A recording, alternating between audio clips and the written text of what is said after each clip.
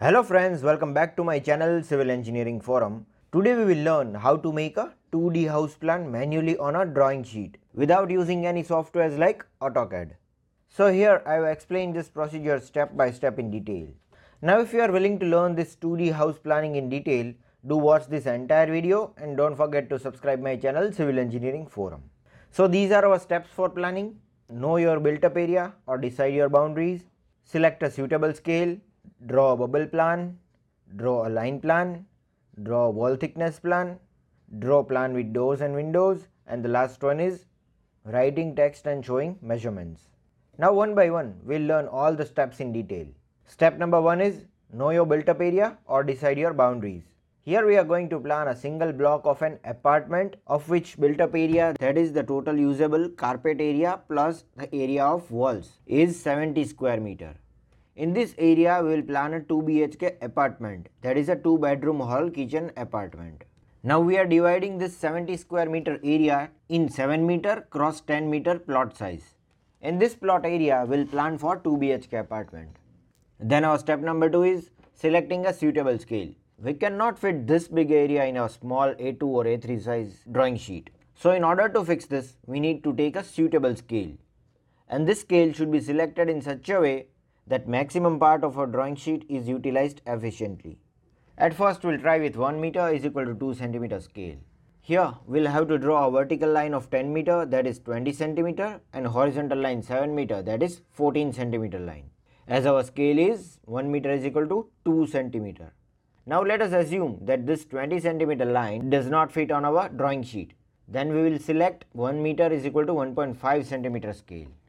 Now this time we will have to draw a vertical line of 10 meter that is 15 centimeter and a horizontal line 7 meter that is 11.5 centimeter. Or if in our first preferred scale 1 meter is equal to 2 centimeter, if the drawing on our sheet is too small as compared to the drawing sheet size, then we'll have to select a scale 1 meter is equal to 2.5 centimeter or we can even go with 1 meter is equal to 3 centimeter and so on. In this way, we need to select a suitable scale for drawing such that our drawing sheet is utilized efficiently. Now suppose our suitable scale here is 1 meter is equal to 1 centimeter. So on our drawing sheet, we are drawing 7 centimeter by 10 centimeter line like this. Because we already have mentioned our scale 1 meter is equal to 1 centimeter, we will mention our original unit on our drawing sheet that is 7 and 10 meter. Then our step number 3 is drawing bubble plan. Now this is called our key plan. Arrangement of all the components will be decided in this step. Approximately in form of bubbles we will decide the arrangement like this. Suppose you want your hall over here, one of the bedroom over here, dining room here, then common bathroom this side then kitchen and wash area or gallery over here and other bedroom with attached bath in this way over here. Now this is our rough planning. Here we have still not shown all the rooms to the scale but alignments and arrangements have been decided. Next our step 4 is drawing the line plan. Here using a single line we need to make partitions over the bubble plan. This time we need to take care for the required areas for each room. Basically here we are deciding all the size of the rooms and making the partitions accordingly using a single line.